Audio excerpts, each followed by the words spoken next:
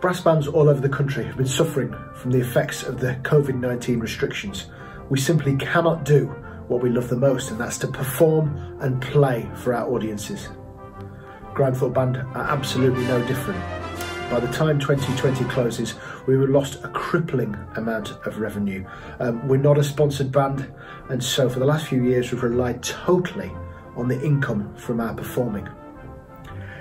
It does take a lot of money just to maintain the existence of an organisation like Grimethorpe, and that's why we started this crowdfunder campaign. Hello, my name's Claire. I'm the Assistant Principal Cornet of the Grimethorpe Colliery Band, and welcome to our band room. Feels very strange to be back in the band room. Uh, we've not been together here since March, uh, just before our last competition. As you can see, it looks very, very uh, empty.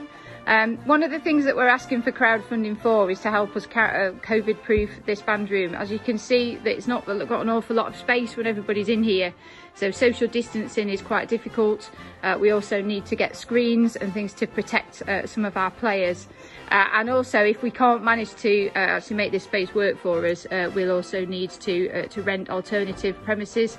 in the district so that we can socially distance and spread people out. Other bands and there's just nothing quite like playing or being at a Grimethorpe concert.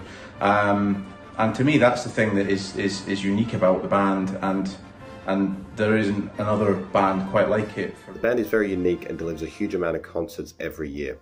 Being unsponsored, the band relies entirely on this extensive concert diary in order to finance its day-to-day -day costs. So 2020 has been probably one of the hardest years for the band since the pit closure, uh, which was nearly 30 years ago. We're coming up to an anniversary of the pit closure obviously very famous for taking parts in concerts all over the world uh, and we've lost about 140,000 pounds worth of revenue this year.